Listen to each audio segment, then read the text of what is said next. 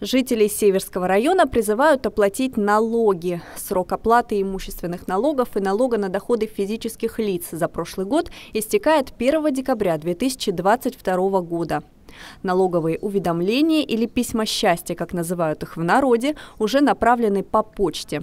Но в заказных письмах на бумаге их получат только те, кто не пользуется интернет-сервисом Федеральной налоговой службы.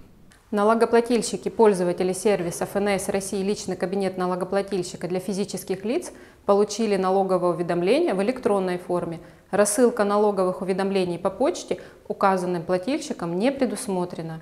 Оплатить налоги можно с помощью сервиса «Заплати налоги» или в личном кабинете налогоплательщика на сайте ФНС России, также в любом банке без комиссии.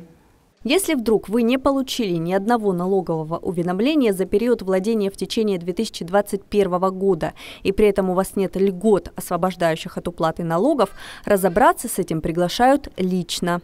Адрес инспекции Федеральной налоговой службы по Северскому району. Станица Северская, улица Чехова, 18. Также рекомендуем вам проверить наличие задолженности по налогам. Сделать это можно посредством мобильного приложения «Налоги физических лиц», единого портала государственных услуг в разделе «Налоговая задолженность», интернет-сервиса ФНС России «Личный кабинет для физических лиц», а также через мобильное приложение «Сбербанк онлайн» в разделе «Платежи и переводы», «Федеральная налоговая служба», «Поиск и оплата налогов ФНС», «Способ оплаты» по ИНН. Кстати, здесь же в приложении Сбербанк онлайн по ИНН можно оплатить не только за себя, но и за другого человека. Инспекторы налоговой службы снова напоминают, что несвоевременная оплата налогов влечет дополнительные расходы – пени, судебные издержки, исполнительные сборы.